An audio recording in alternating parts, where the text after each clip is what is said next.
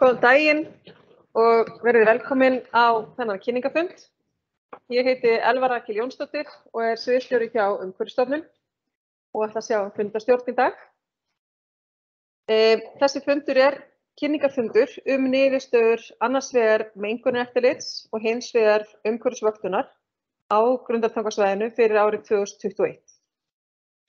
E, eins og þið mæntalega vitið þá er árleg vöktunar áallun í gangi fyrir svæðið e, sem er sett upp samkvæmt starfsleifi og ber að meta áhrif starfseminar á náttúru umhverfi á yðnaðarsvæðinu.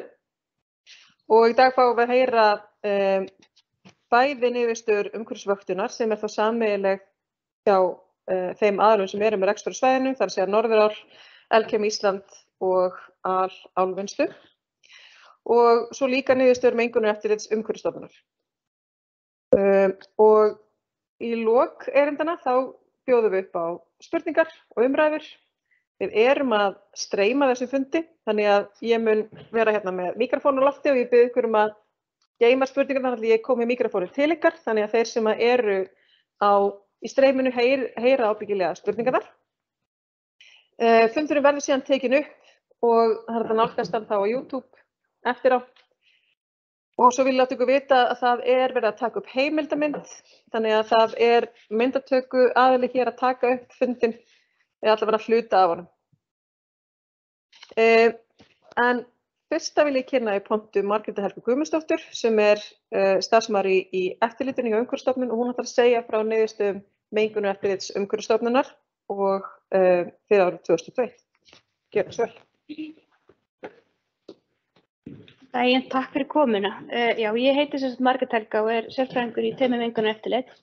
Um, ég er til til að nýttekin við og, og nýttekin við svæðinu á, á grundatanga.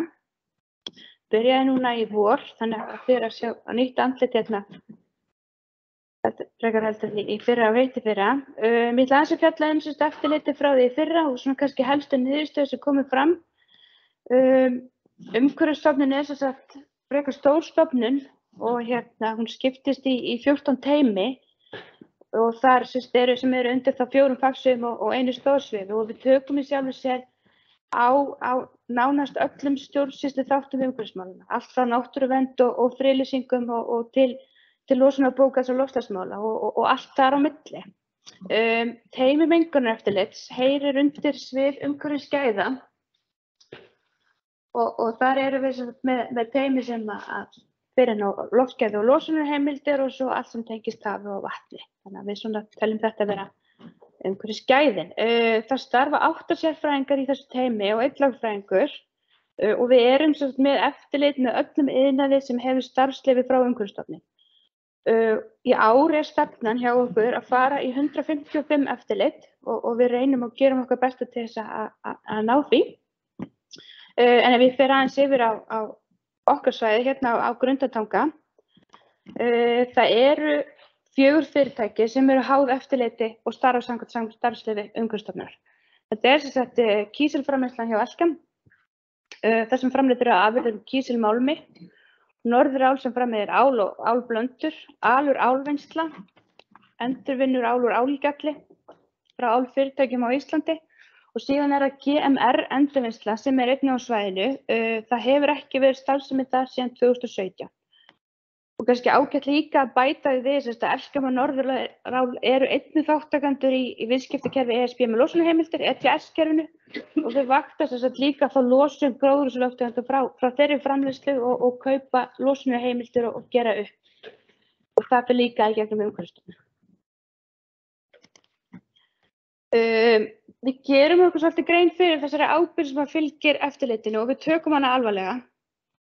Við erum með þessa rýni á, á regluböktum gagnaskilum, uh, Norðrál skila til okkar ástúrungsskýslum og, og grænu bókaldi og, og Elskam og Alur skila grænu bókaldi, þess að ás, yfirleiti, ástand útstremsbókaldi um, og til viðbótar þá eru líka skila á ymsum gögnum samkvæmt starfsleifi, við þurfum að fá upplýsingar um losum pH-efna, munkmálma og hávaða. Uh, við förum og svo fáum við náttúrulega skýrsluna frá umhverfisvöktuninni líka einu á ári og, og, og, og rínum hana. Við förum í vettvangsverðir samkvæmt áhættumati um, á áhrifin starfseminnar. Þetta byggir meðal annars á þetta áhættum að uh, losuninni, hver nálegin eru viðkvæm svæði, uh, umhverju stjórnunarkerfi og fjölda frávika á kvartana. Þannig að við metum þetta árlega og eftir þessu áhættumati að þá metum við hversu oft við förum í eftirlit. Og þetta getur, getur orðið oftar eða, eða sjálfnar eftir því. Um, við tökum á móti sem stöldum ábendingum og, og fyrirspurnum og við skoðum allar ábendingar sem okkur berast. Ef að ég fæ tengilega upplýsingar þá svara ég líka við komandi og við höfum sambandi fyrirtæki og göngum alltaf eftir hvað sé í gangi og oft er það eðlegt og stundum ekki. Um, og síðan ef það verða frávik og koma upp frávik í, í hérna, eftirlýsverðum að þá erum við með eftirfylgni með, með úrbótum. Um, árið 2021 sjá, hola, að þá veist, við erum alltaf með einhverja ákveðnar áherslur í eftirlitinu og, og hérna, árið 2021 þá vorum við sérst með þetta að við vorum að kynna sniðmót fyrir viðbröðsáallinu vegna rekstrarstöðunar þannig að allir, allir rekstraaðlar sem að fengu eftir hljómsóknum fyrra er þá með þessar upplýsingar alveg á reynu uh, vonandi samt ekki fara í rekstrarstöðun og, og síðan vorum við líka að kynna fyrir, fyrir rekstraaðlum hljómsumstranda og ettanótkun á, á höfnum en ég ætla aðeins að fara yfir hvert og eitt fyrirtæki, þessi þrjú fyrirtæki sem fórum í eftirlit á grundutangaði fyrra og svona helstu niðurstöðnar. Um, við fórum í al álvinnslu 8. september, það var ein heimsókn þar. Það komu fram þrjú frávik, uh, útblástusmælingar eiga sérst að vera að gera tviðsasinnum á ári en, en, en voru einu sinni. Um, útstreymisbókald þegar var skilað aðeins og sent, því átti að vera skilað uh, fyrir mánagamótin april-mæ en var skilað 3. júni og síðan er það að styrkur vetnisflúris var yfir starfsleifismörkum.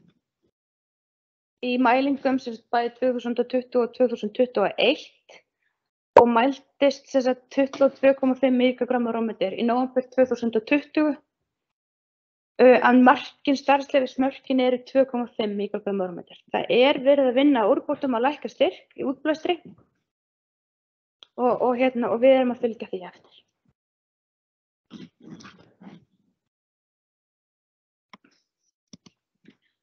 Uh, við fórum í tvær heimsóknir í Norðuröld, fyrst, fyrst 12. mæj og síðan 28. september.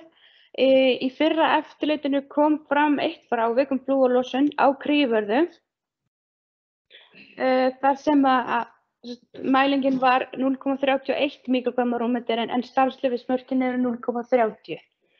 Um, þetta kom sérst fram í, í fyrra eftirlitinu. Svo.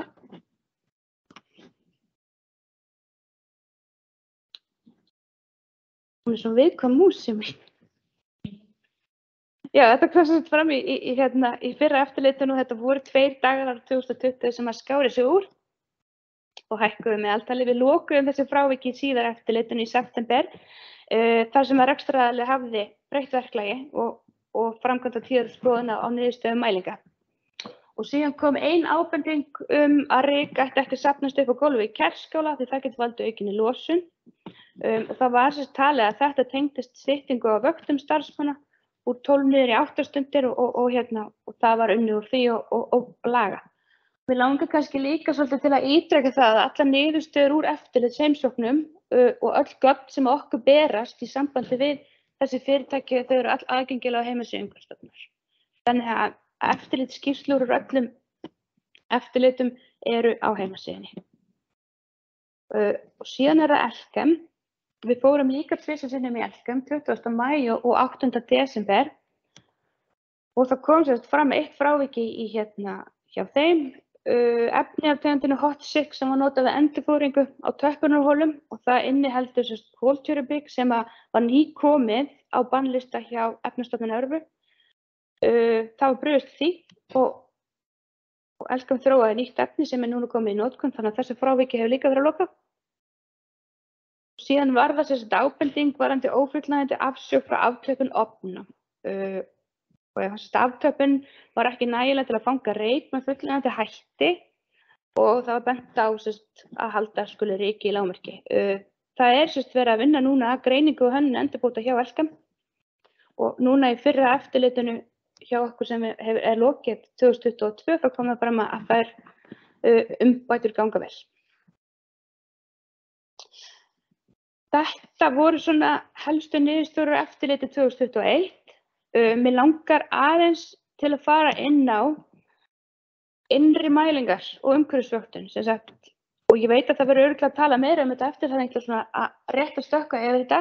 Eh, Þetta eru upplýsingar sem komur enda fram hérna á kynningafundi árið 2017 en mér finnst kannski bara svolítið mikilvægt að hérna, útskýra þetta aftur.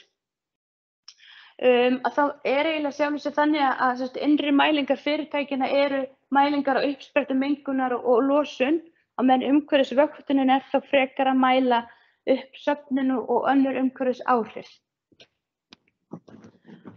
Um, innri mælingarnir eru þess að símælingar hjá fyrirtækjum sem að þau vakta sjálf með reglubundum hætti og hérna er verið að mæla losunina sjálfa. Það er verið að mæla uppspretti mengunar uh, og hvernig er hægt að draga úr mengun frá uppsprettum og hvort að mengunarvarnir séu að virka. Uh, þetta eru þessi stromparjófar og fráræslu og aðrar uppsprettur. Uh, við fáum mæli áætlanir senda til okkar og, og förum yfir þær. Allar upplýsingar um mælingar, aðferðir og mæli aðila koma til okkar og þegar við fáum niðurstöður að, að þá bæði förum við sérst yfir þær með, með rekstraðala í eftirlits heimsóknum og berum saman við starfslefi. Og ef að mörkinni eru yfir starfslefinu þá verðum við að skrá frávik uh, og fylgja því eftir. Og þetta er sérst svona sambarileg framkvæmt með það sem er að gerast þannig staðar. Og síðan er það sérst umhverfisvöktunin og, og hún hefur sérst til líklega að vitið að öll sem vil að hún hefur sérst verið á grundatanga síðan 1999 og fyrir það þá var búið að, að gera rannsóknar á svæðinu áður en starfsemi hóst, bæði í tengslu með byggingu uh, Elkam og Norðuráls á sínum tíma og uh, hérna er verið að að vakta umhverfið sjálfur sér án tillits til þess hvað losunin er. Uh, það er verið að bera saman styrk mengunarefna við þau umhverfismörk sem að gilda og við erum að aðtöða hvort að það sé mengun og, og vöktun er sem sagt á loftgæði gróðri graspítum yfirbórsvatn og jarðvegi. Þessa mælingar eru framkvæmdar að þriðjaðila og, og við fáum svo niðurstöðunar til, til yfirferðar. Við fylgjumst líka með þessu. En þetta er svona helsti munurinn að umhverfisvöktunin er meira umhverfi og lifir ekki óhá mengun á meðan innri, innri vöktunin er, er mengun að þættinni sjálfur. Þetta var síðasta glæna mín. Um, þetta, er svona, þetta, er, þetta er svolítið langur líkur en inn á heimasíðu umhverfstöfnunar er svo tækt að fara inn á inn á starfsleifin og, og, lesa starfsleifi vöktunar áallanir, eftirlitsáallanir og, og öll þau gögn sem okkur berast. Þannig að þetta á að vera allt saman upp á, á borðinu og ef það er einhver spurningar þá má alveg senda með tölum. Takk fyrir.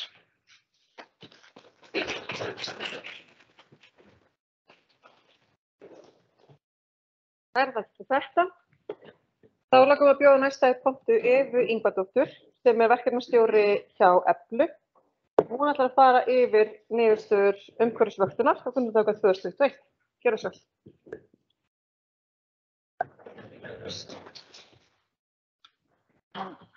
Það er bara skeip.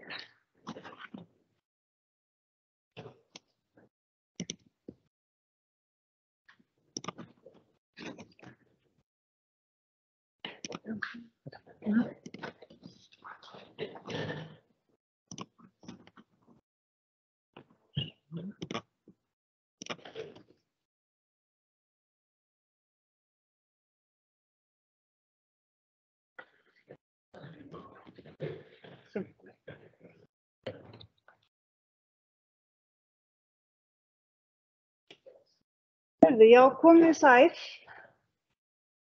Gaman að vera með ykkur í raunheimum aftur eftir tveggja ára fjárveru. En ég heit þetta Eva Ingudóttir og kem frá Eflu verkvæðastofu. Ég er efnaverkvæðingur og, og vinn við ímiðs umhverfis og örgismál hjá hinum og þessum fyrirtækjum. En uh, ég ætla semst að kynna fyrir ykkur niðurstöður umhverfisvöktunarinnar fyrir uh, árið 2021. Og uh, eins og nokkur undanfærin ár þá hefur efla tekið saman skýrslu um uh, niðurstöður frá þeim sérfræðingum sem koma að vöktuninni. Skýrslan er núna engangur rafræn og hægt að nálgast hana á heimasíðu umhverfstofnunar. Ég, ég aðeins hérna, hérna svindla eins og prenta út eintak, ég veit að við hefum ekki gerða, en svo, hér er allavega eintak og það sem við hefum gert líka er að við höfum gert hérna samantækt úr skýrslunni. Þetta er hérna 15 blaðsur, ég líka svindlaði og prentaði þetta út, en þetta er sér þetta til á, á heimasíðu umhverfstofnunar. Uh, og ég ætlaði líka að benda á að allar sérfræðskíslunar eru á, á heimasíðu umhverfstofnunar. Ekki það? Bara á morgun. Á morgun. En uh, það sem að ég ætla að segja ykkur er, er uh, umfang vöktunarinnar, hvaða þættir eru teknir þannig inn og síðan niðurstöðunar. En alltaf markmið með, með vöktuninni er að meta þau áhrif sem starfsemi yfirverðin að hafa á umhverfið í kring. Uh, vöktunin fór fram samkvæmt vöktunaráallun sem gildi til 2028 og umhverfstofnun hefur samþygt. Og að þessu sinni voru, voru hérna þessir þættir sem það teknir fyrir það var sem veðufar, loftgæði, bæði andrúsloft og úrkoma, ferskva, sjór við flæðigrefjur, lífriki sjávar, sem sagt kræklingur og set, móarætir, voru metnið gróður, grasbítar, bæði slátufjö og síðan lifandi söðfjö og hross. Og þeir aðil, aðil, að sé, vá, úf, úf þeir aðilar sem koma að vöktuninni eru, eru hérna, ég mynd, á, afsækjur, ég þarf að læra á þetta. Og ég nota pílunistæð. Það er þess að Hafránssonstofnun sem hefur séð um uh, flest allar mælingar var áður NMI. Það er dýralagnir í Moselsbæ, uh, Náttúrufræðistofnun Íslands, Eh, rannsóknarsetur Háskóla Íslands eh, í Sandgerði, Matís og síðan, síðan eh, rannsóknarstofnun Háskóla Íslands í Livi og Eitirefnifræð. Þannig að allir þessir aðelar hafa sem sagt, uh, tóku þátt í, í og, og, og gerðu þessar rannsóknur, settu saman skýrslu sem, sem ég er síðan að kynna fyrir ykkur. Uh, en ef við bara byrjum hérna þess að skoðum skoðum þess að sem yfirlistmynd þetta er sem sagt mynd af þeim uh, vöktunarstöðum sem eru hérna í kringum uh, Kvalfjörð, þetta eru kringum 140 staðir og þá voru tekin um 1220 síni á þessum stöðum auk þess sem að viðmjöðinu síni voru tekin svona hér og þar eftir því sem við á. Uh, ég, mér langar bara að benda á hérna þessi tvö finningasvæði, annars vegar fyrir flúor sem er þetta, þetta brúna og hins vegar fyrir e, brennisteinstvíóksið, þetta apelsingula, en innan þessara marka þá gilda ekki þau viðmjöðumörk sem eru sett í reglugjörni.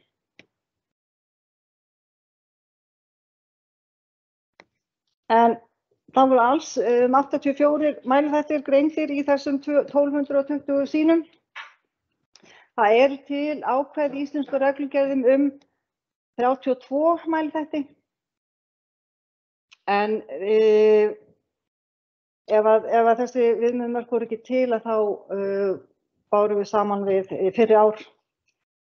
En hérna sjáum við svona yfirleitt yfir, yfir þess að þætti við erum aðeins svona lita þetta þannig að þeir þætti sem eru grálitaðir það eru þætti sem að, e, er að engin viðmjöðumörkur til grænu þættirnir eru viðmjögumörkur til og, og þau eru uppfyllt í, í hérna núna 2021 og appilsingula línunar eru þættir sem viðmjögumörkur til en eru ekki uppfyllt. Og þessu sinni er á það við um flúor, loftkendan flúor og, heldaflúor á kríuverði sem að mæltist yfir viðmjögumörkum í starfslið. Sjáum það betur eftir. Uh, en öll, hér eru bara fleiri þættir, og það eru nú öll önnur viðmjörnmörk eru uppfyllt í, í hérna, í þessari vöktum, þetta er sagt. En ég langar bara að benda á að það er nýðustöð fyrir flúor og brennistein, það eru óvinnu háar árið 2021 og hugsalega má tengja það að einhverju leiti við e, sem bara staðsetningu mælustöðuna sérstaklega á kríavörðu sem er náttúrulega staðsett bara við húskablin á, á, við Norðurál. Það var á veðurfari, það var svona aðeins öðruvísi veðurfari síðast ár og síðan síðast eru hérna áhrif frá eldgóðsum í geldingadölum sem hóstu í, í mass og var, stóð yfir alveg fram í desember. Og í, í eldgóðsum þá kom, þá, uh, kom upp mikið magn af gasi, CO2, brennsteinsdioxíð og, og, og, og loftkend flúor. Og ég sá, googlaði aðeins og sá í, í frétt, ég held að það var hendt eftir þér þá steina að, að, að losunin á brennsteinsdioxíði frá geldingadölum árslósunum var á við 5 til 700 sinnum meiri heldur en losun frá uh, Strömsvík. Þannig að það, það kom mjög mikið upp úr, upp úr, upp úr þessum, þessari eldstöð. En ef við snúum okkur þá bara aðeins um uh, mæli vöktun á þáttum og byrjum á loftgæðunum.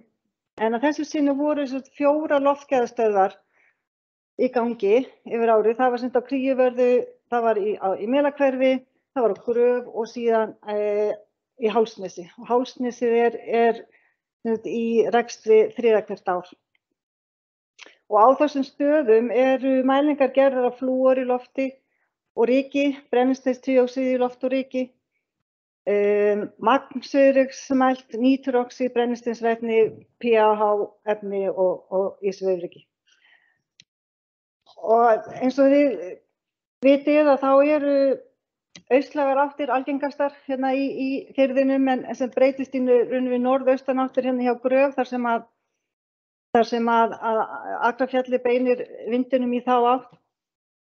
En, en núna árið 2021 að þá uh, sjáum við að að hérna að svona suðvestan áttir voru hlutfarslega algengari heldur en, heldur en oft áður. Og eins var hitastíð nokkuð herra, það var um, um, um 0,1 til 1,3 gráðum herri hitin hér 2021 með við 2020. Um, já, ég held að sé nú eiginlega inn á þetta sem ég ætla að segja hér. En við skoðum þá aðeins. Að þá þá sjáum við hérna niðurstöðu fyrir loftkendan flúor í andrúrslofti á Kríuvörðu gröf og Hálsnesi. Við sjáum það að styrkurinn á Kríuvörðu fyrir langt yfir viðmjörnum örku starfslefi eh, Norðuráls. Þetta eru eh, niðurstöðu fyrir apríl til september en það eru raun og veru þau mörg sem að skilgjönd eru í, í starfslefi Norðuráls. Þannig að að við erum, erum aldrei, það, það hefur aldrei komið þessi, þessi, þessi, hvað að segja, þessi stærðagráða flúor hefur ekki sjást áður á kríuverði. Og eh, helsti, hel,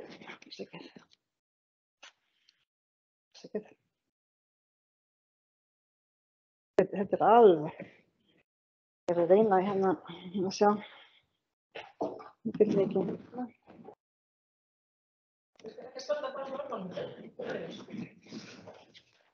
Jú, ég er bara að reyna aðeins að hérna, aðeins að sjá hérna, aðeins sjá.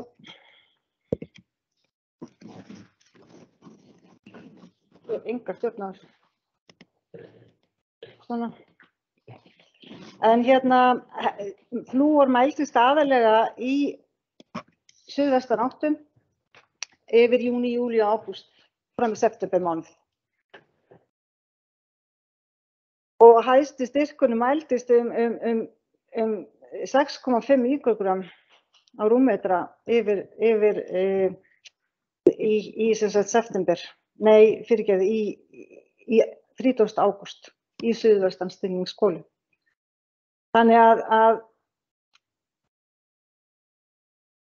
já, þannig að það, það er svona alveg, alveg eh, spurning hver, hérna, hvað veldur þessari miklu flúorlósun þarna en, eða flúon, flúon styrk í, í kríuverðin, annað það, við vitum náttúrulega að kríuverða stendur alveg við húsgaflinn á, hjá Norðuráli.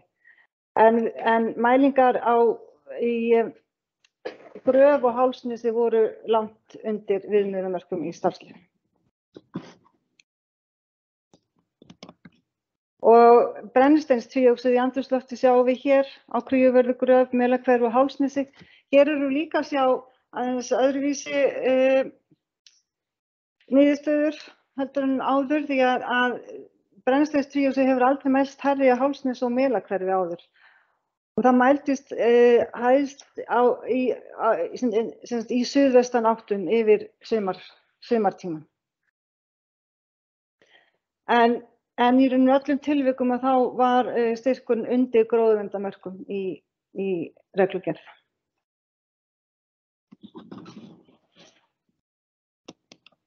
Og eins eru mælt hérna sólarhengs meðalstyrkur á brennstyrstfjóksiði. Við sjáum á þessari mynd, þetta eru hérna, þannig uppsalunásunum er, er fjöldi daga og, og á x-ásnum hérna er, er, er styrkur og það er svona leifilegt að fara þrisa sinnum yfir heilsjöfundamörk 125 mikrogrammar rúmmetra yfir árið. Og uh, það er raun og gerðist núna það fór þrisa sinnum yfir þessi mörk einu sinni sem þetta í melakverfi sem er fyrsta sinn sem að það fer yfir heilsjöfundamörk þar styrkurinn og þrisa sinnum á kríuvörðu. Og þetta er allt að gerast í suðvestan áttum yfir sumartíma.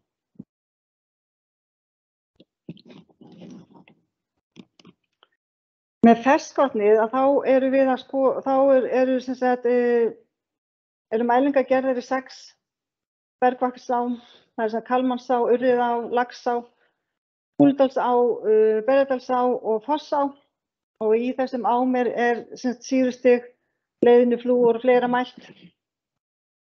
En uh, og síðan eru tekin yfir, yfir sumartíman mismörg í ánum hvaða áurum að ræða.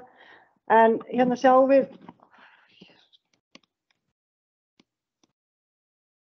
sjáum við sem styrk flúors í ferskvækni í Kalmans og Urriðá en í þessum áma þá mælast svona fjóru sinum e, herri styrkur af flúor heldur en í öðrum ám og það er vegna þess að bara uppbrunin eða, eða uppspretta ána kemur úr, úr yfirborðsvatni sem er vötnum sem eru þannig rétt hjá álverðinu. Þannig að, og við sjáum að, styrkurinn, flúastyrkurinn er langt undir uh, viðmjörnmörkum í neyslu vassreglugerð. Nú það eru líka uh, áhrifa frá flæðigrifum erum metin með því að taka síni í, við, við, hérna, við, við, kantinn á, á flæðigrifjónum. En í þessa grifjur þá hafa eða verið lefi til þess að setja ymsan úrgang, hól og, og, og, og fleira.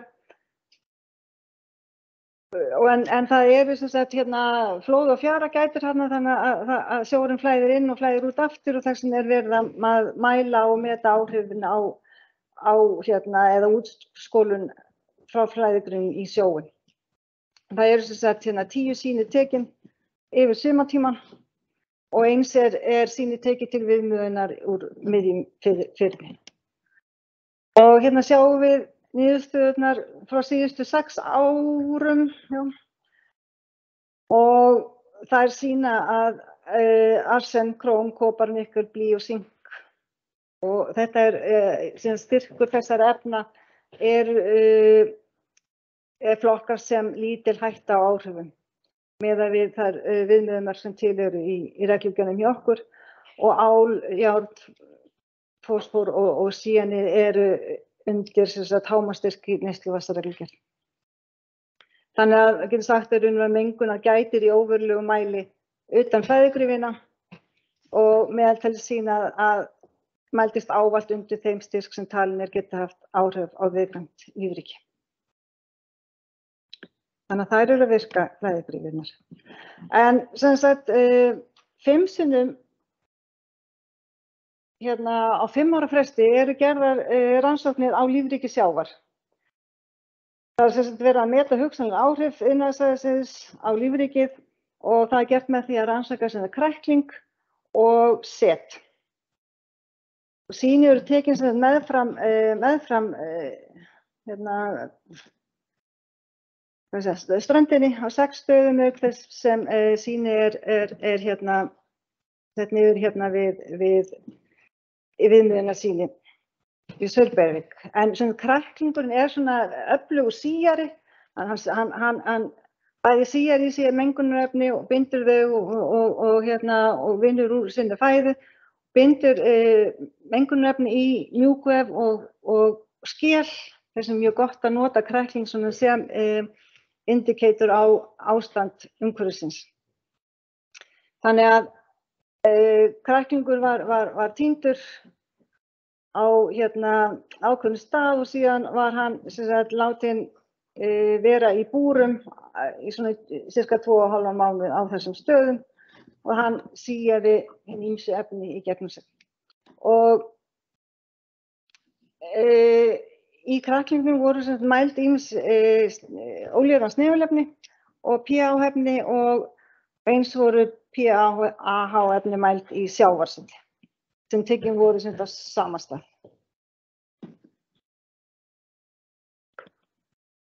Eh, Það er ekki til neinn viðmunarmörk í reglugerðum, íslensku reglugerðum, en það, eru, það, en það hafa farið fram bara í mörg, mörg, mörg, mörg ár eh, vöktun á kræklingi umhverfis Ísland og styrkur efnana í kræklingnum við kvalfjörð meldist á öllum vöktunarstöðum svipar og bakgrunnsskildi frá ómengum svæðum umhverfis Ísland og alltaf lægri norsk viðmjöðumörk fyrir mengu svæði.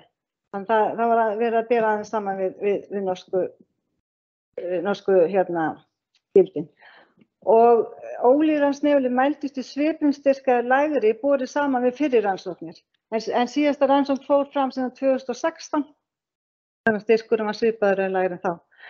Og eins var að styrkur blís, kvikasilfur og kadmís mældist undir leifilum hámarskildi í fiskaföðum.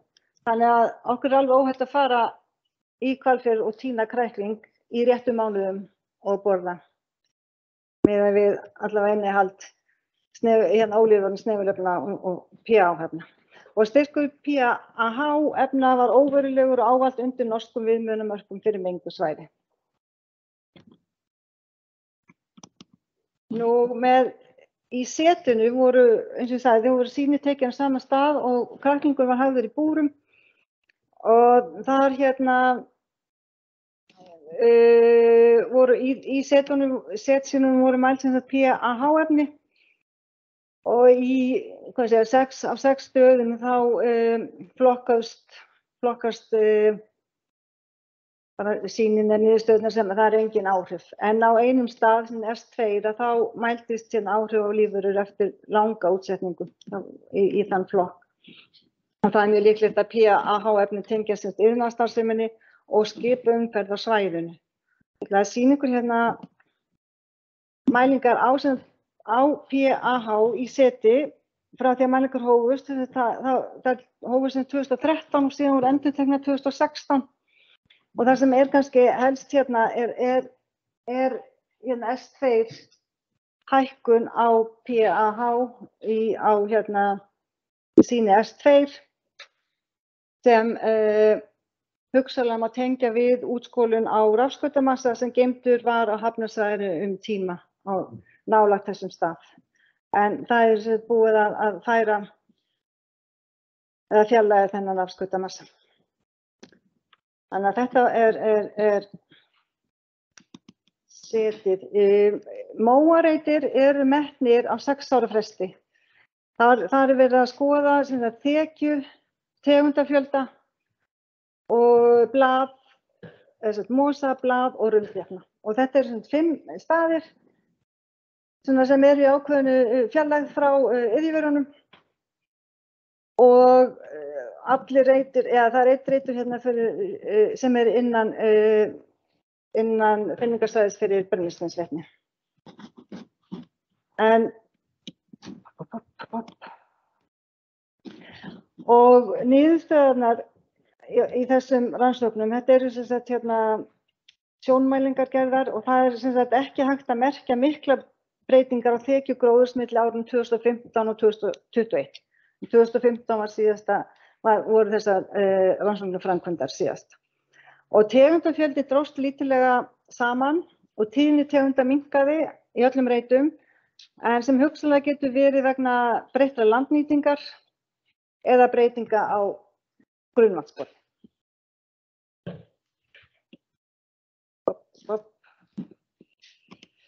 Ef við skoðum svo hérna gróðurinn, þá eru síni tekin á heinum ymsu stöðum í kringum kvalfjörð. E, síni eru tekin þetta grasi, laufi og barri og, og flúur er mælt fyrir þessum tegundum en, en það er hafa allar mismuna til þól gagvart e, flúor. Þannig að, að, að, að það er gott að nota þær til þess að endur spekla e, bara álægir. Og það er hérna, sínin er tekin í, í, í upphafi gróðutímafélsins í júni og stendur alveg fram í, í nóvumber þegar barrið er, er tekið. Og til viðmiðunar þá eru síni tekið líka í Skorradal. Og hérna sjáum við uh, niðurstöðu fyrir flúor í grasi. Þetta er sagt uh, meðaltal fyrir uh, norðan grunduntóka, austan og sunnan og vestan grunduntóka. Eins er, er þarna við Skorradal. Og flúor í grasi, laug og barri meldist í öllum tilvikum undir þólmörkum í plöntuvef og líka uh, undir viðmjörnmörkum fyrir fóður, grassínin og það er uh, engin breyting á meðastyrk flúors árið 2021 meðan við árið 2007 en hækkun með við uh, 1997.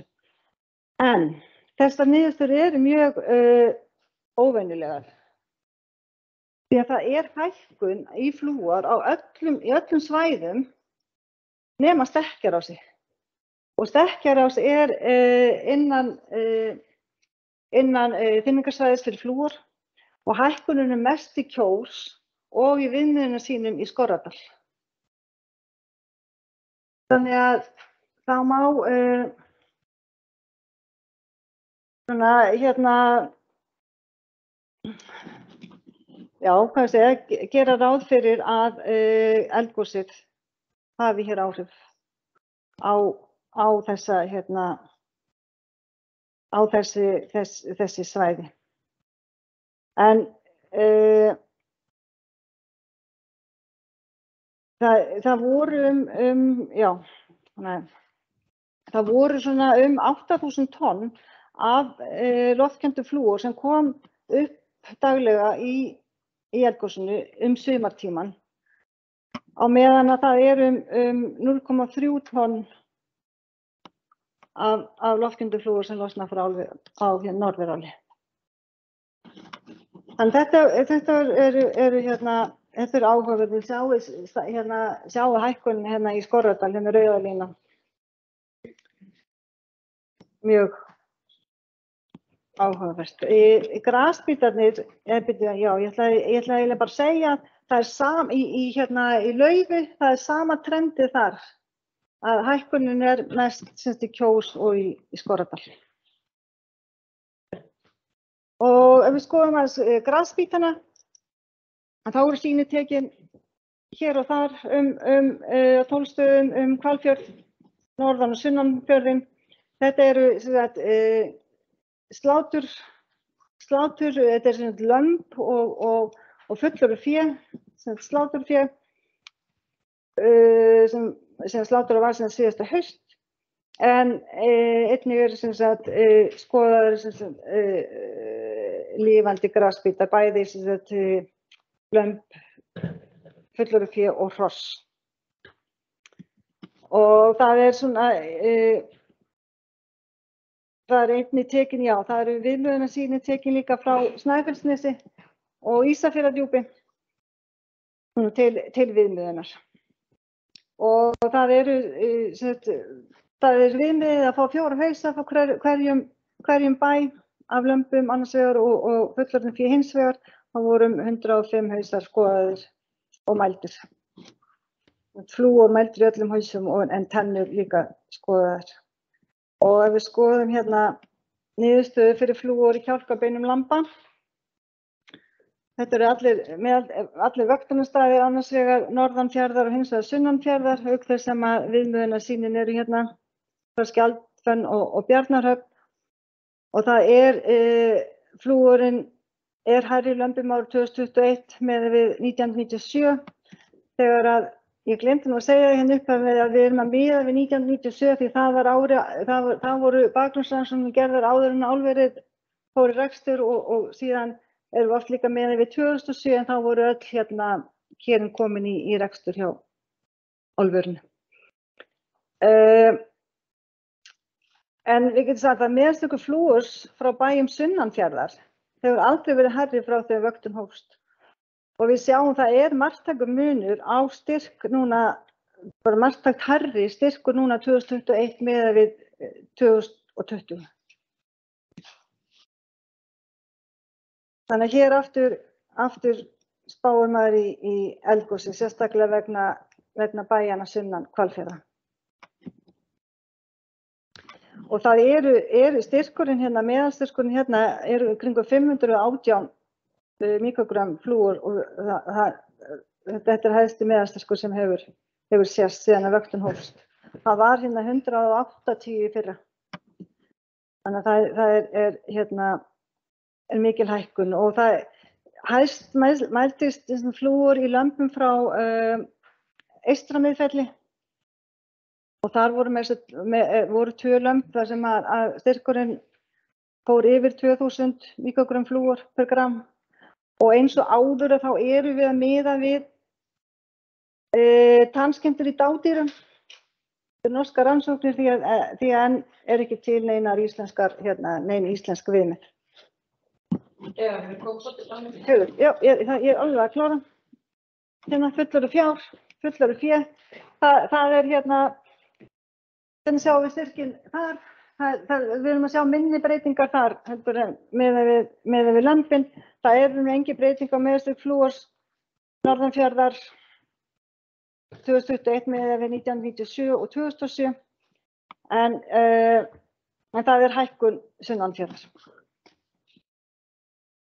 Uh, og hér var, er, var hæst, mæltist hæstur uh, styrkur í, í kjálkabeinum fullumstjár frá innri hólmi. Og við hefum alveg séð síðustu 12 árin þá hefur svona stefnan í flúor verið lækkandi í fullöfnum fjö en það, stefnan breytist aðeins, hún breytist núna og, og það er margtækt herri styrkurinn núna 2021 meðan við 2020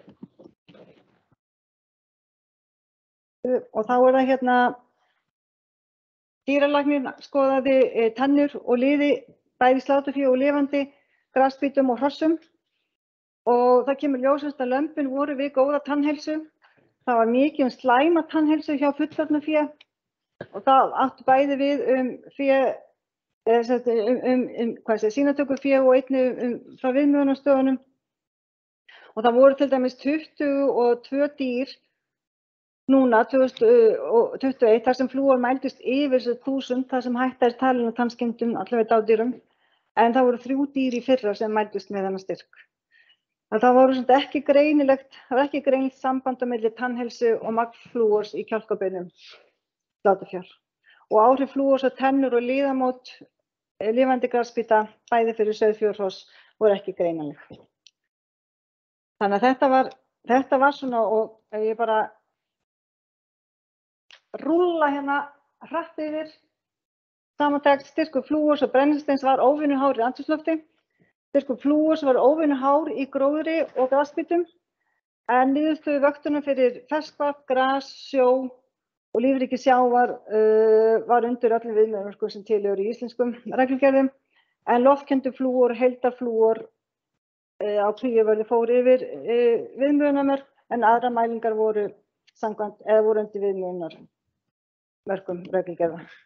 Og það er sjór við flæðigrifun inniheldur ekkert mengunarefni þess styrskum talin hætta, þetta eftir áhrif á viðkvæm lífriki og heilt yfir meldust takmörku áhrif yfirverina á umhverfið í sjónum, sem kræklingi og seti.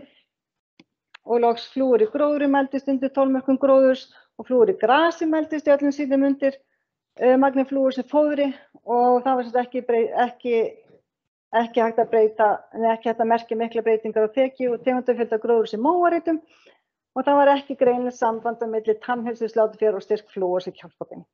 Og áhrif flúors var ekki greinanlegt í tönnum eða liðum lifandi söðfjörðurfoss.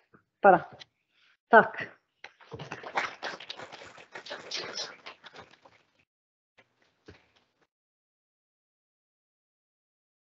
Já, takk kærlega fyrir þetta. Ég velti fyrir mig hvort við eigum að skipta um húsnafast uh, svona á milli atriða og sem mín mér svona æðisleg. gátt og það gangi ekki betur. Uh, Útskýrðin af hverju ég tek þennan langar sveig hérna hér eru afar viðkvæma snúrur og teknumæðurinn minn leggur til í gangi ekki hér yfir með þær og ég held að það sé alveg rétt með tjónum, þannig að ég sé sannlega ekki þessum þau verð. Ég veit ekki hægt og það. þess að allt fari. Uh, en næsta vil ég bjóða velkomin uh, Herma Þórðarsson, efnaverkfræðing, sem ætlar að fara aðeins yfir mat á niðurstöðu mæling. Sérstaklega nú voru lofti í kvartinu, þá vil ég að byrja til líka að taka þarna hinnbrókin, svo mætist við á meira leið. Gjörðu svo vel.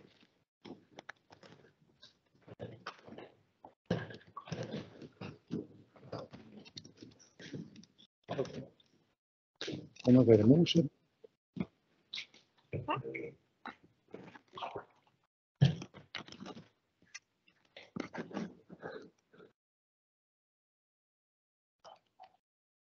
Já, endilega fáið ykkur kaffi og kremur. Við viljum ekki ykkur að fara með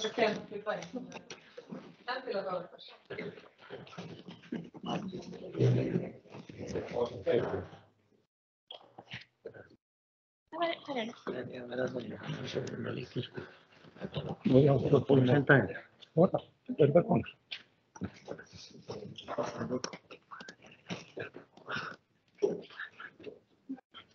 þetta? Hvað er þetta? Þetta fjóra sko. Þetta er ekki líkil með þetta bara. Já. Nei, ég er ekki með, er ekki lust, lust. Finna þetta. Ég tekið bara sem lust. Þessi, Tekið bara sem lust. það er bara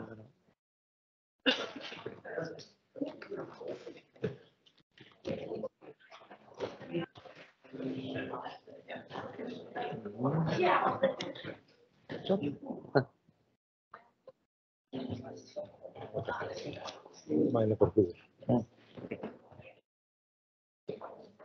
Já, það er að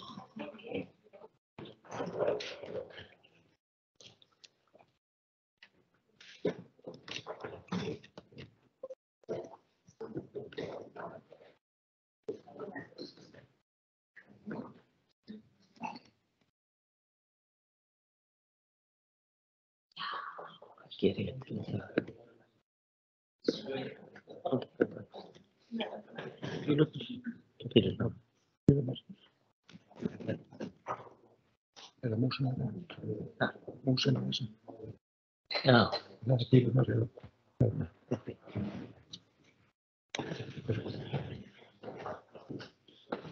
já, góðan daginn. Ég heiti Herman Þórðarsson. Ég var áður uh, fórstöðmaður á efnagreiningum og nýsköpunarmiðstöð sem að lengi sá um mælingar uh, fyrir umhverfisvöktun í Hvalfirði. Nú, umhverfisvöktun í Hvalfirði aðmefum að leggja ákveðin mat á mælingar og flúur í lofti í Hvalfirði árið 2021 vegna frávika sem hafa svo sem verið rætt hérna að við hefum sérstaklega á gríðuvörðu og sjálfsagt að það er bara fyrst og fremst leita til mér sem sérfróðs aðila og það voru svona ákveðna spurningar um uh, áræðileggi mælinga. Það var hann uh, áhrif góðsvið Fagradalsfjall og önnur áhrif eins og til dæmis við og áræðileggi mælinga er þegar mælingar er annars vegar alltaf lögmætt spurning og ég fór yfir þessar mælingarnar með starfsfólki efnagreininga á Hafránsóknarstofnun sem sjá þetta núna og var farið yfir sem sagt hvort að búnaður mælistöðunni er gengið eðlilega. Þetta er sem sagt mælingar sem framfara á mælistöðum í kvalfyrði, sérstaklega segir fjallum, ekki gróður eða mælingar í vatni. Fyrst og fremst mælingar á mælistöðum í lofti. Nú, og það kom í ljós sem sagt að þetta hefði gengið mjög eðlilega, sínasöfnun, hvarðanir, ekki var um bilanir eða skemmtir á mælibúnaði, hvorki ytri eða innri að ræða.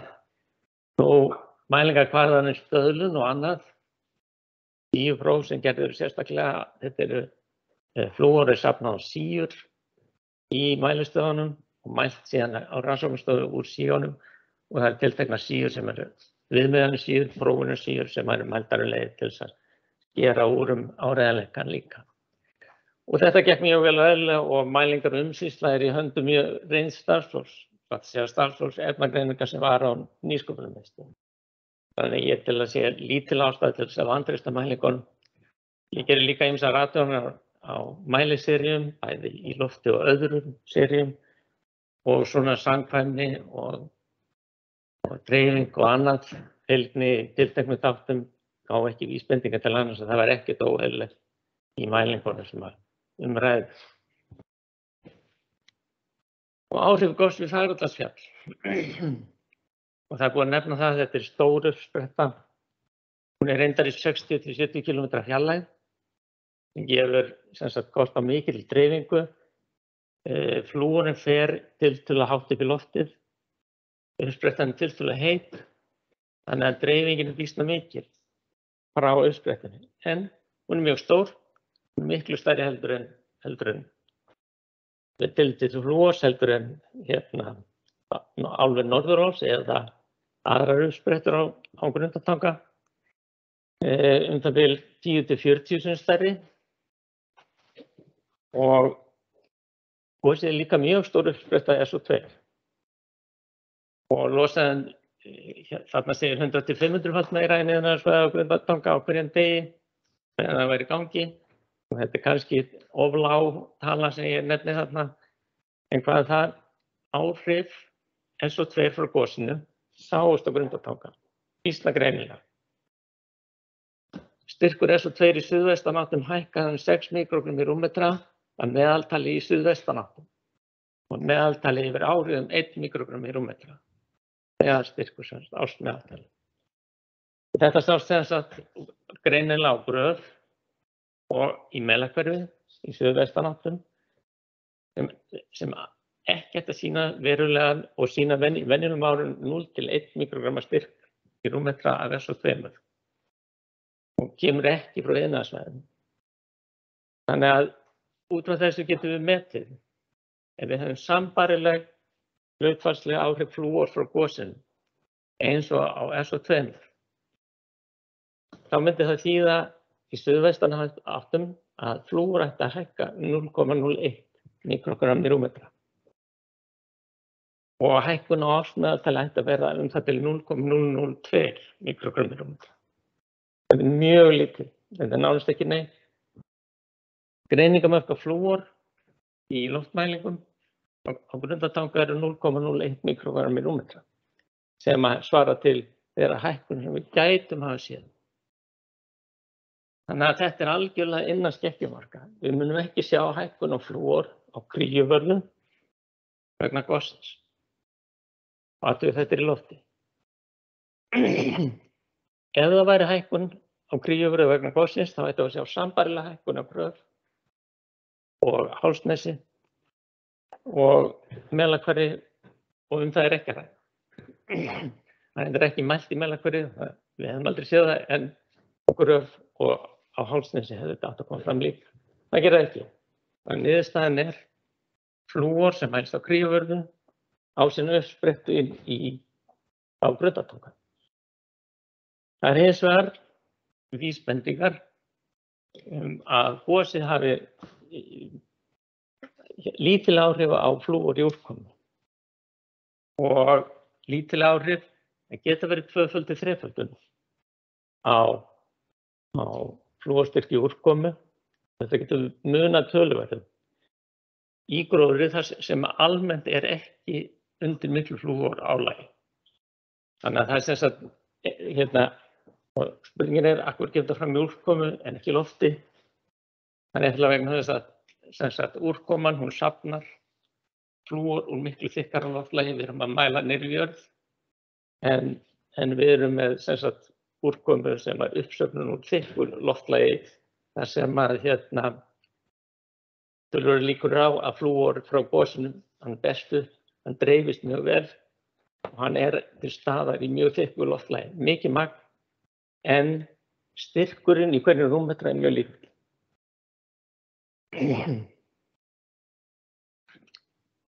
Þannig að það er okkar mat, eða mitt mat, að hérna, áhrif úrkomunar séu sjáanlega í gróðri og að við sjáum enga aukningu í lofti.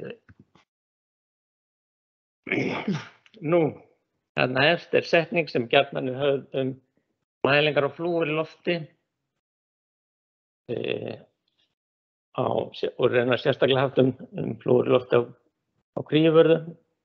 Munur á hæstu og lægstu meðalgildum flúors getur verið alltaf þrefaldur eftir árum og munur á mánaðagildum innan árs getur auðvitað verið tífaldur eða meira. Maður getur velt fyrir sér af hverju er þetta svona misjant, af hverju er munurinn svona mikil. Ef við erum með uppsprettu sem er tiltalega stöður, af hverju er munurinn svona mikil á milli mána á milli ára. Og það ásýr bæði einfaldar og flóknar skýringar. Fyrsta lagi áhrif vindátta, það hefur nettið náður, til að mengun mælist á mælistu. Þá þarf vindátt að standa á stöðuna frá uppsprettu, það er náttúrulega augljóst. Þetta, hérna, það er algjör undatekningatilfelli sem að, sem að hérna, geta ást í stað þegar maður mælir mengun, til dæmis í logni, eða í mjög stöð, sérstaklega eða jafnvel þegar hitakvaru á sér stað í lofti, að þá getur maður mælt mengun á þess að myndur standi myndastöð en annars er það bara reynlega fórsenda þess að, að mengun mælist á stöðinni að vindband standi mynd á hana frá uppspillu. Nú fara auki og þá koma atriði sem við sem venjulegt fólk hefum ekki sérstaklega til, tilfinningu fyrir. Annað alveg gríðarlega áhrifa mikið atriði og það er stöðuleiki lofts, loður eitt blöndin í lofti og styrkur getur mælst mjög mismunandi. Þá einn af sömu uppfluttunni e, eftir stöðuleika loftsins. Það getur mælst svo mismunandi, það getur verið hundrafaldur munur, jafnvel þó hérna, mælingstandi beint frá uppspretta á stöð. Ef við höfum mjög óstöðu loft, þá getur við mælt hérna, setjum sér svo styrkur på einn á stöðinni Ef við höfum tiltölulega stöðu, þá getum við mælt styrk upp á 100. Þannig að það getur verið 100-faldur styrkmunur, jafnvel þó að, að hérna, myndátt standi beint að stöðinni. Þetta gerir það verkum að, að mælingi getur verið mjög breytt. Nú, stöðleiki loft stafar sem sagt af hitalækkun í lofti, það drýfur sem sagt Það er segja lóðrættar blöndun og það drýfur finningu mengunar. Og því miður höfum við ekki venjulega mælikvarð á stöðuleika lofts í kvalfyrði. Það er eins og verið gerð mæling á stöðuleikaðar. Það er ekki að tryggja manna skeið fyrir árið 2000. 99 frekar en 97, ef maður rétt. Það komum bísna góðar upplýsingar úr þeirri mælingu um stöðuleika lofts í kvalfyrði. Og Stöðuleiki lofts í Hvalfirði er allt góður í söðvestanáttum. Mestur í norðvestanáttum en almennt minnstur í norðvestanáttum. Öðru öfnum er þetta því það að það er, það er, við getum fengið hæst, hæstu mælingu í stöð sem var ef alla stöður var í svömi fjarlægt, þá fengið við hæstu mælingar í suðaustur af, af grundatanga, næst hæstu í norðaustur og lagstu mælingu almennt í suðvestri. Það er tilhengt til þess að, að ef við horfum hérna á stöðvarnar, hérna höfum við skrýjuvörðu, við mjög nálægt álverðinu. Hún er í innan við kílómetra fjallæð. Það er bara tún hérna á milli, slitt tún. Það er ekkert sem hindrar ef við höfum stöðugt loft, þá getum við fengið sem sagt gríðarlegt útslag. Við höfum ofta spurðið, getur það verið að fá mælingu eins og upp á 6 mikrogrammi rúmetra? Í sömu átt og getur gefið okkur hérna mælingu á 0,05 eða svo. Og það er staðrind, það er þannig, stöðuleiki lofts hefur gríðarlega áhrif á uh, hvar, hvar mengunin mælist.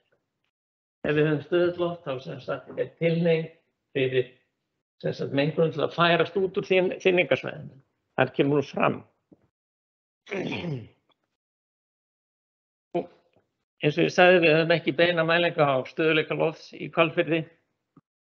Til þess þarf hitamælingar í, í mismunandi hæð og það er, það er ekki til staðar. Við höfum bara vísbendingar, veðurfarslega vísbendingar um hvort að hugsanlega um mismunandi stöðuleika sé að ræða. Og þarna hefur ég tekið saman sem sagt veður í stuðvestanáttum kríförðu fyrir 6 ár frá 2021 og aftur til 2016. Og við sjáum að tíðinni suðvestanátta í hotninum það sem, sem ber mengun beint af álveri Norðuráls. Það er að segja hotninu sem ræðist að þessum enda álversins og þessum hérna að þá er tíðinni suðvestanátta eftir árum mjög mismönd. 2021 ára 8,3%. 6,4, 4,1, 2019, helmingi læri 2019. En almennt er þetta svona bylnu 4-8% á þessum 6 árum. Hún hitast þig síðasti ári í Suðvestanáttum, 8,2, það er mjög hátt. Í veðurfarstilegu tilliti til það, þá er þetta mjög mikill munur, 8,2 gráður og 6,6. Það var í 6,2, þetta er mjög mikill munur. Vindræði sem reyðist 2021 tilskila hægur, þó eru dæmi um hægari ár. Og þetta eru vísbendingar um að í veðurfarslegu tilliti hafi 2021 verið til flóan. Og ef við skoðum, ef við reiknum sem sagt breytileika flúorstyrks milli ára og skoðum áhrif suðvestanátta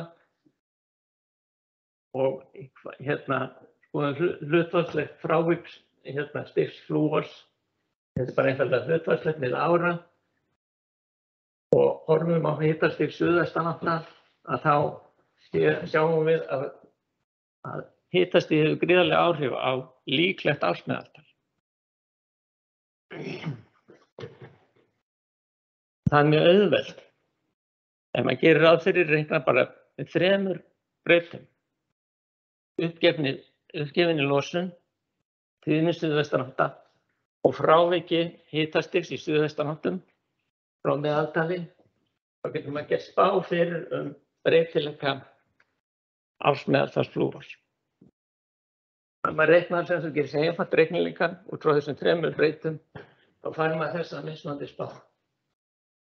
Og spáði fyrir mjög hátt gildi árið 2021. Og það er nánast engin önnur skýring á því en að, að stöðuleiki ársins, stöðuleiki lofts ársins 2021 ásamt vindáttum sé valdur þessari hérna hækkun. Nú það geta aðra þetta skýringa komið til, en þessi er langa áhrifaríkustur og, og líklegust. Það er vindáttir og það er stöðuleiklóts. Og þetta er semst niðurstaðan.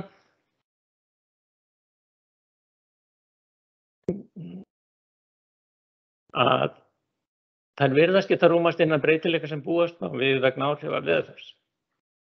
Eldgós frá Fagradalsfjalli hefur líklega engin áhrif á mælingar í lofti og grífurðu. En einhver óverulega áhrif á styrk í regnvatni og yfirbórsvatni. Nú, þá þakka ég bara fyrir.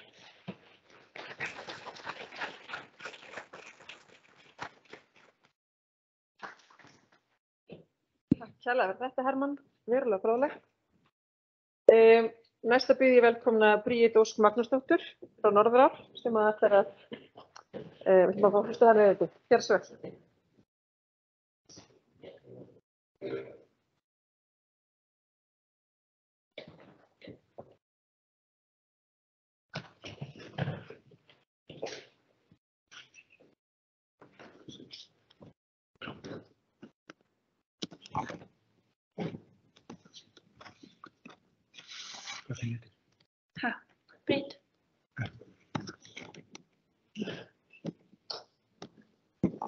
Já.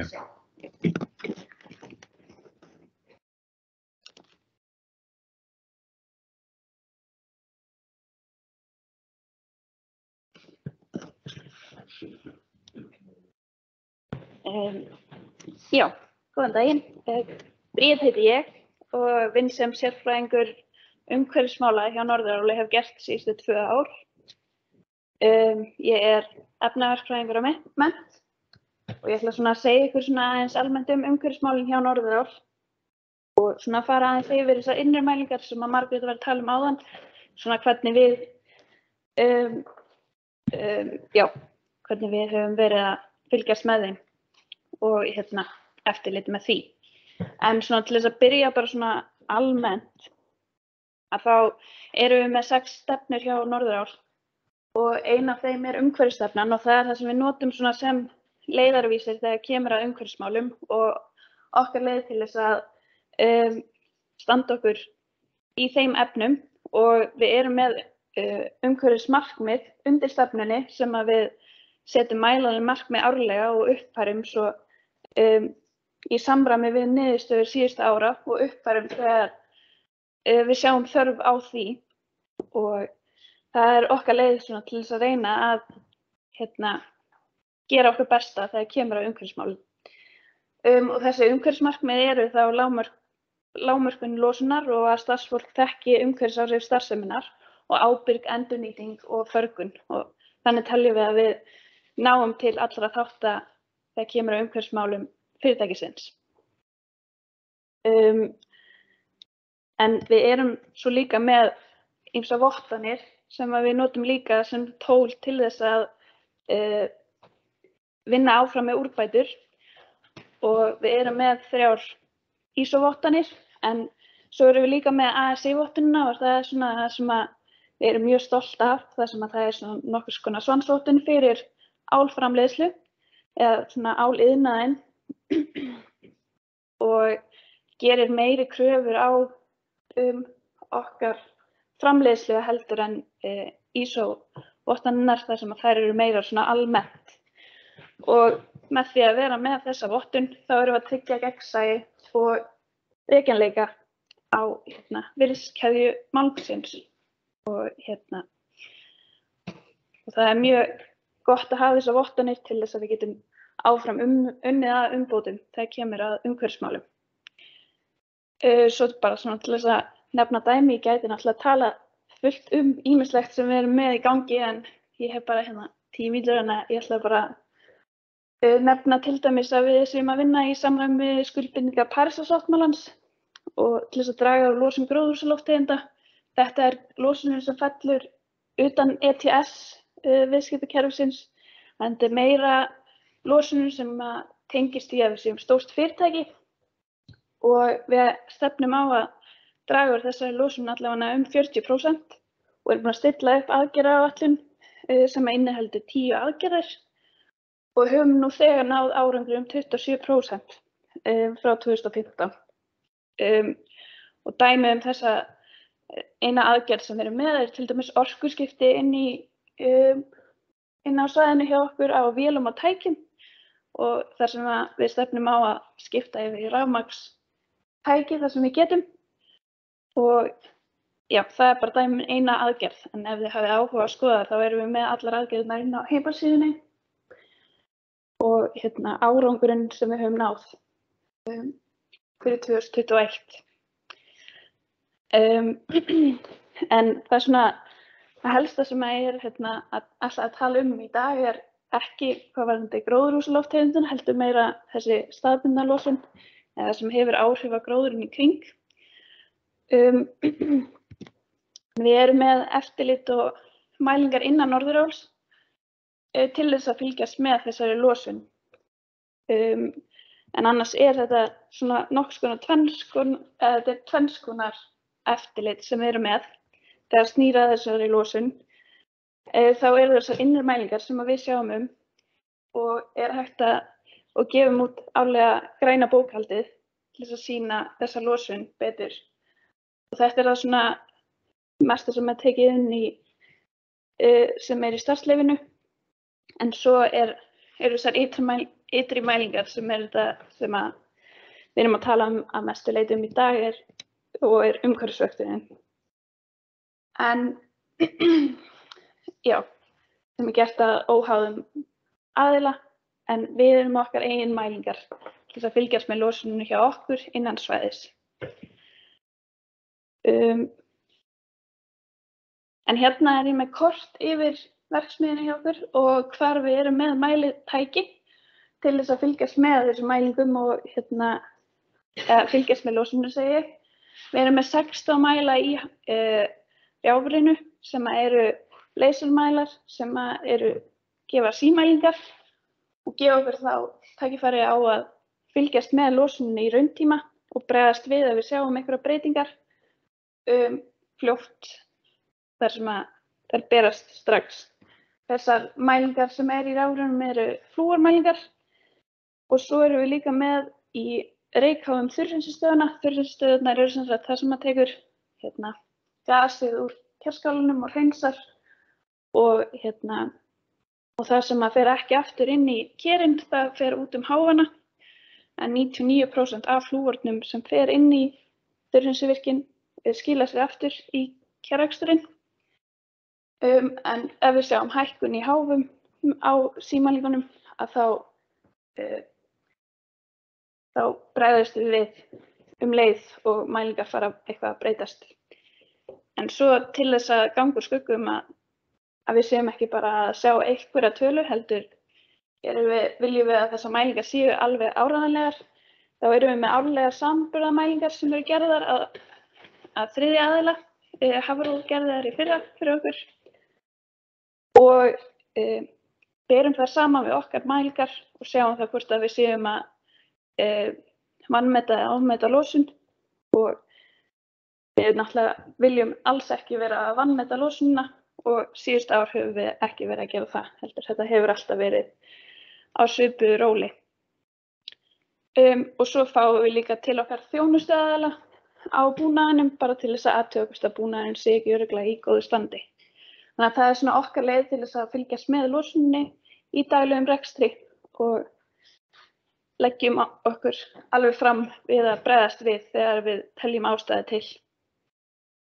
Svo bara svona til að fara fljóðlega yfir hérna, hvernig flúalósin hefur litið út hjá okkur síðustu ár. Þá eru þetta tölur græna bókaldinu frá 2012 og flúalósin þar. Við erum búin að vera bara á svipu róli síðustu fjögur ár með 0,38 kg flúor á tonna áli. Um, línan sem við sjáum hérna er í starfsleifismörkin en þau breyttust þarna millir 2014 og 2015 er í 0,47 með nýju starfsleifi. Uh, svo hérna má sjá reiklósununa, hún hefur líka verið nokkuð stöðug síðustu ár, um, svona í kringum 0,7, uh, aðeins fyrir ofan eða neðan. Og svo er ég með brennisteinstvíóksíð lósununa frá 2012, hún hefur verið að fara frá 9 upp í 11 síðan 2012. Þannig að við höfum ekki verið að sjá mikla sveiflur í þessum, þessari losun síðustu ár. Um, en þegar við fengum fyrstu upplýsingar um að mælingarnar á kríuvörðu voru háar síðasta haust, að þá hérna, fórum við í að samt að skoða hvort að við sæjum eitthvað hjá okkur eða einhver ástæða fyrir því sem að Eh, við gætum fundið út úr innan hús. Þannig að við vorum með nokkur svona viðbröð þegar við fengum upplýsingar um þessar niðurstöður og hérna er ég búin að lista upp nokkrar af þeim að þá við óskuðum eftir að setja upp Uh, nýjan mælibúnað á krífur verður bara til samanbyrðast til þess að tryggja að mælibúnaðurinn sem var til staðar fyrir væri pottið að skila réttum niðurstöðum. Við vorum að býða ennþá eftir, erum að býða eftir uh, niðurstöðum frá þessum samanbyrði og svo þess að þetta var gert í vetur og þá var bætt við viðbóta sínatöku og þar voru bætt við það barsýni uh, í landi Halastaðakot sem er þá í sömu átt og kríuvarða liggur um, og árvarsýni í Kalmansá og Urriða á. Um, og það var í rauninni ekkert óvennilegt sem kom þar í ljós. Um, svo náttúrulega fórum við líka að skoða um okkar eigin mælingar þar sem við erum með mælingar frá uh, símælingar og bárum saman hvort að okkar hæstu dagar væri að passa við hæstu dagana á kríuverðu. Svona, um, það var ekki mjög au- augljós tenging þar á milli, hennilega bara var mjög mismunandi hvenær hæstu dagarna á kríuverðu voru og ekkert þannig fylgni við okkar hæstu daga. Og já, svo er óskað eftir að bæta við svæði í gróðursýnatöku um, í Karlstæðakoti bara til að þétta netið og þar sem að loftgæðamælingarnar uh, segja okkur ákveðið en gróður sína okkur meira hva, hversu mikil áhrif er að flúurinn að hafa á gróðurinn. Um, já, en þetta var svona það sem ég ætlaði að segja, bara snögglega aðeins frá okkur. Ég segi bara takk fyrir mig.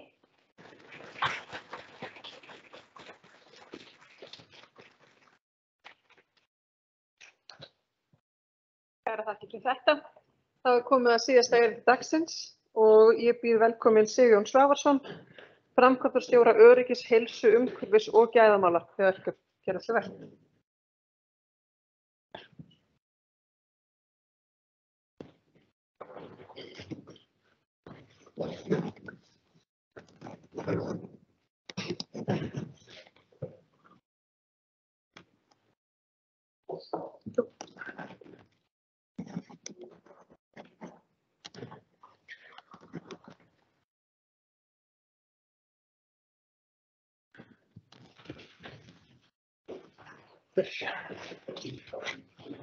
Já, takk fyrir uh, og takk fyrir bara góð erindi hérna undan og góða yfirferð á miðstöðunum úr vöktuninni. En eins og ég segur Jón og, og hérna, jú, starfsbyrlinn er hansi langur og þar með tala umhverfismálinn og, og hérna ég ætla svo sem bara að hafa þetta stutt í okkur vegna þess að ég er svona meira, vil kannski horfa til framtíð, jú, það voru slæma niðurstöðu kannski og skriftar kringum flúurinn en komar alls konar útskýringar á því núna og og það sem ég er að horfa í kannski meira til framtíðar er svona þessi stærri umhverfis vá sem stæðir á okkur og það eru hérna loftslagsmálinn og koldíóksið sem að e, við SO2 sem við stöndum fram með fyrir. Og ég meina það er staðrind að Elkem Íslandi er einn af stærstu losendum á Íslandi og, og fylgjum við fast á eftir flugreikundunum, stærstu flugreikundunum hérna á landinu.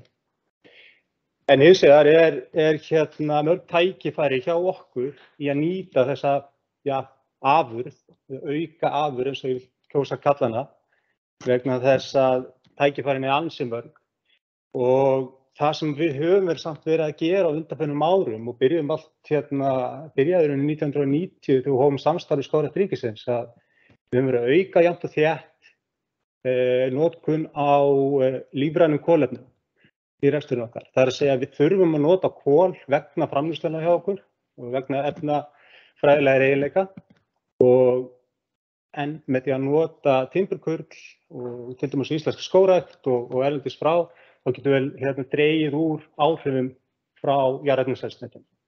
Og til að mynda á síðasta ári var um hvað 18% losunum okkar tengdi með e, losunum á að sem er um 80.000 tonn.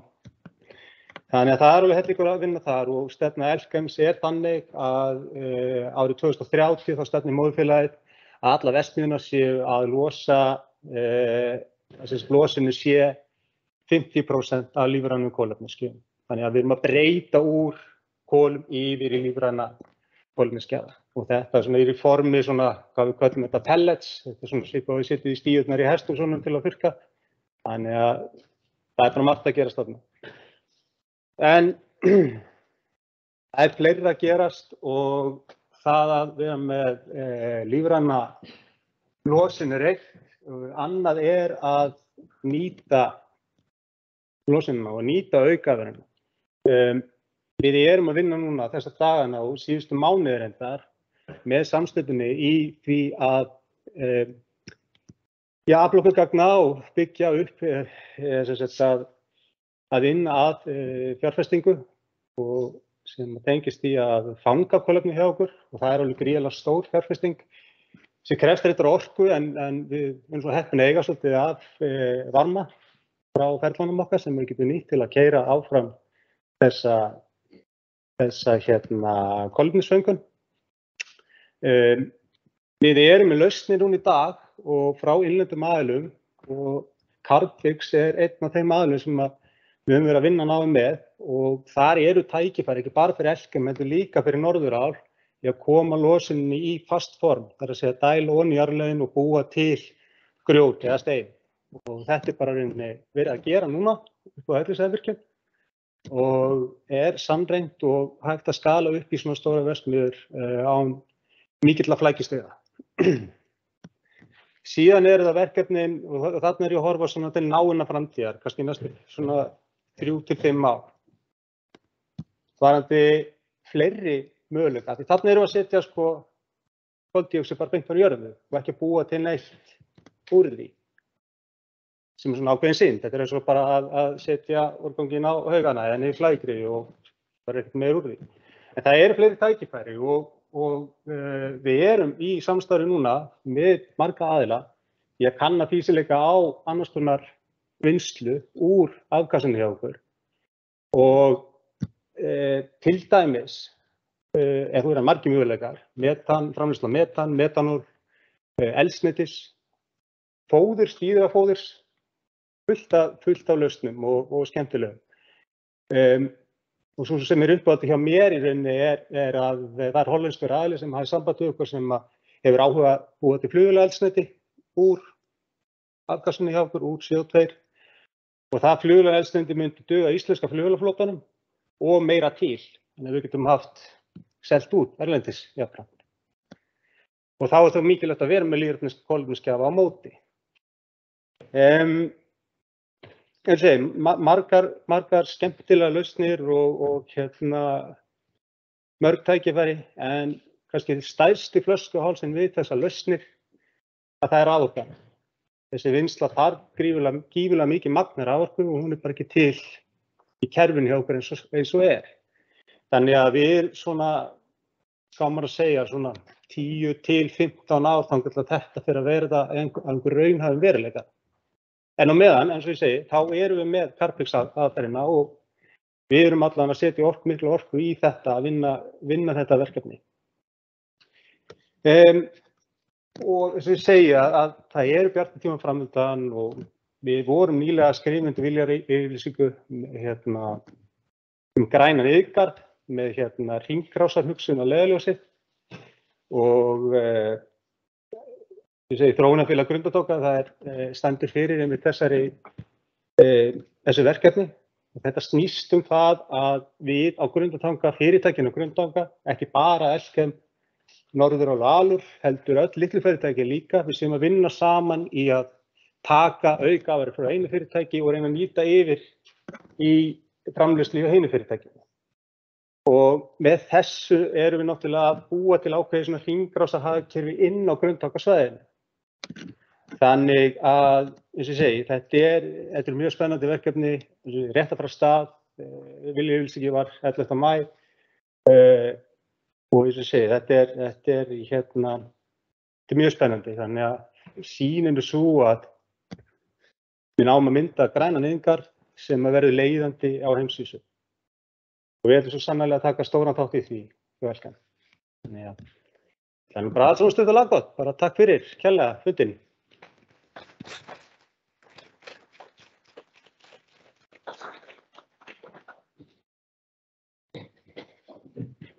Takk kærlega fyrir þetta. Þá er öllum framsögum lokið og ég vil taka framsögum Karla eftir sín erindi. Nú tökum við móti spurningum.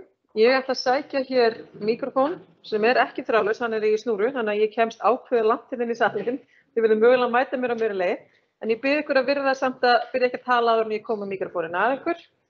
Og ég byrð ykkur líka um að beina spurningum ykkar til ákveðins aðila sem þið byrjum svar frá.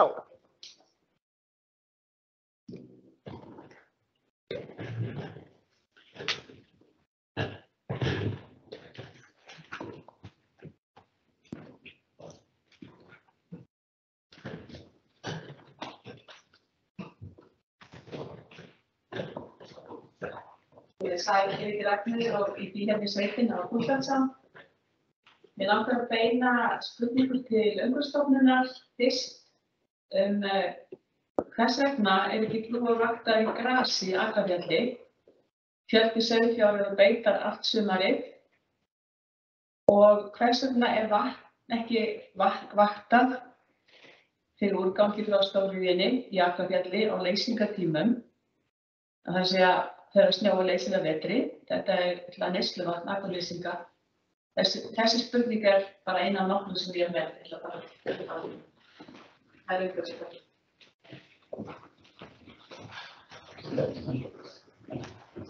Sæl, takk fyrir. Um, ég bara veit það ekki, ef ég var alveg hinskinin, en hérna, ég ætla að taka þetta niður og skoða þetta, en við þurfum náttúrulega að, ég þarf að ræða þetta við verkefnastöðu vöktunar, umhverfis vöktunar. En þetta er bara góð punktur og, hérna, og við munum taka til skoðanar.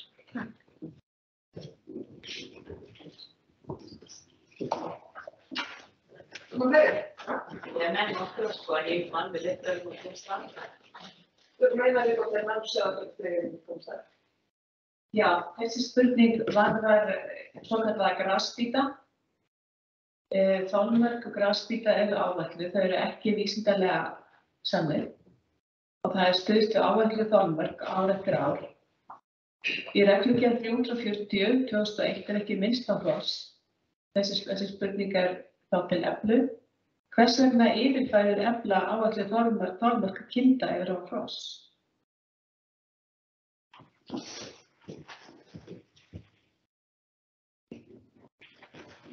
Sæl, ég veit ekki alveg til þess að við séum að gera það. Við erum að væl, eða sem við byrjum saman að hljóðmannið í, í hérna hjálpum slátumbjörn. Við, við hérna dátýrin í Nóri, en við erum ekki, við erum ekki með neinn flúor, flúor, uh, hérna, engar flúormælingar í aðeins hérna Já, þá koma það rétt að skoði, sko, það er ekki best að tala um grasbíta. Að þú talið þá ekki bara um sauðfér. já. Þetta er, er sko, hross og kindur eru dýr með gjörólík meltingafæri og, og lifnar, lifnarætti bara. Þannig að þetta hendar alls ekki að hérna, skella þeim í sama, sama heiti. bara, þetta er bara góð ábending við, hérna, við, við breytum orðalæginu mest. Þetta er bara eins og í upphafi þegar ég talaði um hérna, hérna áður fyrir það talaði um lömb og kindur, en lömb eru vist kindur. Þannig að ég, nei, en ég, ég, ég bara, bara þakk fyrir, við, hérna, við breytum þessu í næst.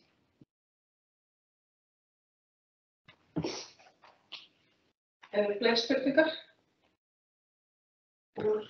Salum? Ef ekki, þá bara. Það er til eflu aftur.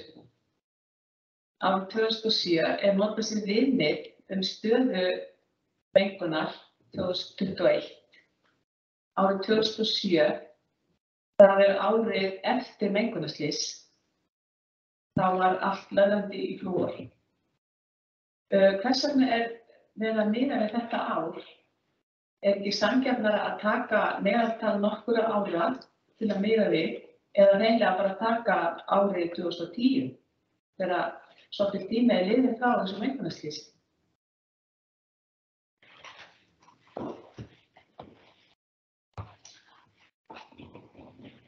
Þetta er líka bara ágættu punktur. 2007 var upphaflega eh, uh, valið af því að þá voru öll hér álversins komin rekstur. En, en eins og ég segi það, að það ár var, það endur spekla svolítið uh, uh, mengurinsleysi sem var 2006. Þannig að ég skrá þetta hérna hjá mér.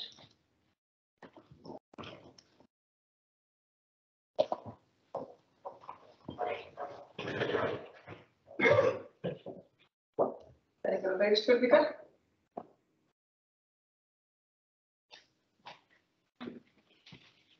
Svo ég veit um að sirka, Nei, ekki um að því setja líka saman en sko. það getur að vera ekki að segja og nokkuð með að setja mismunandi fólk í hópum það getur að tekja svo einn. Já.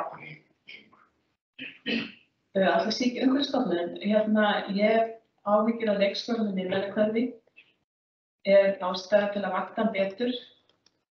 Nú er, uh, til dæmis, já, það er sem sagt uh, ekki, það er ekki vaktaði flúor í Melkvæði. Og ég hef kynnt þetta að uh, það er ekki oft skipt um samt í samskóðsum til dæmis. En nú er, er staðan þannig að það er, hérna, að koma mikil mengun frá yfirvörunum og það var ríkjandi vestanátt eða allt síðasta sumar.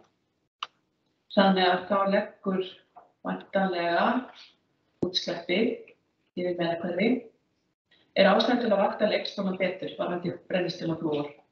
Og svo vil ég spyrja hérna umhverfstofnun. Uh, vitið þið Af því að löndin frá Íslandmyndelli voru áskapparar í hérna varandi flúri beinum á síðast ári. Hvað var um þessi lönd? Það voru tvö þeirra sem voru næra með 3000 ppm af flúor í beinum og það var markað. Og að lokum er möguleiki á því að einhverju stofnun setji eldri vöktunarskýslur fyrir ára sem sem inn á veði. Það er þá er ég að tala um vöktunarskýslur frá byrjun og Já, það er sem sagt, ég man ekki alveg hvað er að byrja 2010, er það inni hjá okkur núna, eða það vandast þetta þarna stórum kapla. Eh, getið þið mögulega að setja þetta inn á við?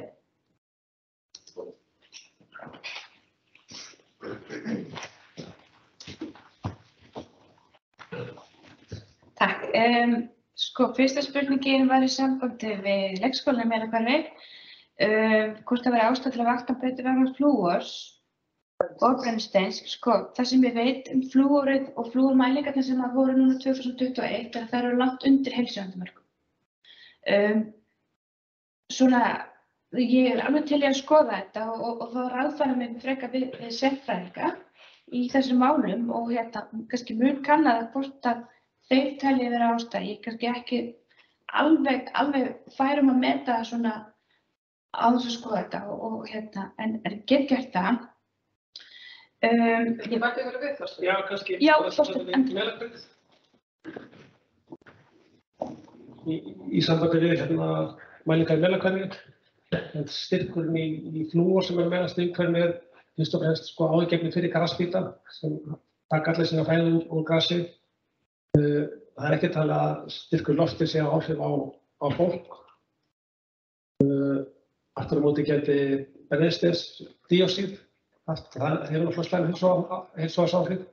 Og það er sett mælir í mjölakverfi í, í hérna ráðhúsinu þar, eða sem til þess að gera mjög stjórn á leikskólanum, þannig að það ætti að endur spekla leikskólanum vel. Og það sem mælist eiginlega þessu tveir í mjölakverfi þegar vindáttin stendur þannig, en, en það hefur aldrei raunfæri nálægt með heilsuvarsáhrif. sko. Þannig að þetta er svona það sem ég er að spyrja hann er hvort það hefur verið aðtöð. Vegna þess að ég er að, ég hef áhuga umhverfismálum eins og kannski hefði áhuga frá. Og það er hérna, ég búin að aðtöða það er svo oft er skipt um sand í sandkassanum í leikskólanum. Það er ekki oft. Uh, sko, að tala um græsbíta. Ég er að tala um líkið börn sem eru með sandin upp í sér og, og, og hérna, ég er alltaf hluti sem að fólk eru ekki sko með í sínu umhverfi. Já, já, þetta með sko með sandin í sandkvassum, það er svo sem alveg sko, myndi ég segja ástæð til að skipta reglum um sandin, en þá fyrst og fremst út af kvöttum í hverfinu sem eru sem að skýta. Eh, ef það er einhver flúor, það er önnurlega einhver flúoraferðinni sem feil sandkassan, Uh, ég hugsa að það sé miklu, miklu minni flúor inntaka hjá börnunum þó því þetta er talsverða samt, þetta eru bara tannkrem sem eru bustuð upp úr. Þannig að flúor inntaka hjá börnum um bara sem ég geta er í raun ekki ágjörn. Það er frekar ágjörði SO2 mælingarnar, eða sett SO2 mengun en, en það er mælt þarna og er, er sett vel undir öllum þessu öllum. Þannig að þetta er svona það sem ég vildi bæta við um, um Þannig að um það sem loftkæslu. að skrifa niður þetta. Já. Er til bætið sem bæði enn Ég vil ekki bara taka hérna yfirleitt að skrifa fyrir þau að við vitum okkur gæða. Það er ekki glóðlegt að hafa þessa mæningar. Það er eitthvað til að gera það. Sko, það verður náttúrulega til þess að gera auðvitað mála að reynilega bara mæla flúgur í sandinu, sko. Eh, Það er, það er svona lítið mál myndi ég hafa, sko. Og hérna, það er svona stöldum og það held ég eftir að geta verið nokkuð anglaust með það en sett, já, ég ætla að þetta bara að skoða það og Skrætinir. saman til vektur áfram að hafa svona auka átaki að mæla í sandinu, sko. Fleiri spurningar? Jú, það voru tvær fleiri. Eh, Þú veist að spyrja um lömpi frá eistra miðfjalli. Ég veit ekki hvað varðið þau. Eh, Veist þú það, Magnús? Nei. Nei. Um, nei, því meira, ég veit ekki hvað var enn lömpin. Um, en þú spyrir líka um, um sérst vöktunarskýrsla á vefinn og það er bara minnstumáli ég minnum ég skal hérna bara fara það núna í, þessari viku. Áttu hvort ég finna það ekki og, og beður mér að setja hana vefinn fyrir okkur. Næstu máli. Mér lögur kannski að bæta bara östu við að um, í þessum gagnamálum er mitt sko aðgengja að skýrstum, aðgengja að upplýsingum, aðgengja að gögnum, þá er þetta eitthvað sem að við viljum reyna að síðan að bæta okkur í og eh, þið veitir bara allur heimurinn er alltaf einn þessu, er að gera stafnætt aðgengi betra og betra og við erum ekkert öðru sem er, því er að vinna okkar vinnu betur og betur þeim málum. Og um, gögn eru auðvitað mjög verðmætt og það er mikið af, af gaglu og upplýsingum að fá um, víða og við erum til að mynda svona rétt byrjuð að skoða mögulegan því hvort að við getum farið í einhvers konar samstarf við heilbrigðisyfirvöld um að uh, skoða það mest að mögulegan því að samkjæta einhvers konar eftirlitsgögn sem við eigum yfir að búa við uh, svona gögn frá heilbrigðisyfirvöldum við hvað við sjáum að við er, gerum þegar það kemur upp náttúrulega þá erum við að kæra saman slík gögn en við gerum það ekki heilt yfir öllu jafnvel.